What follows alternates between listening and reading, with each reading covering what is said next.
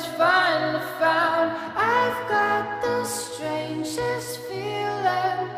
This isn't our first time around. Past lives couldn't ever come between us.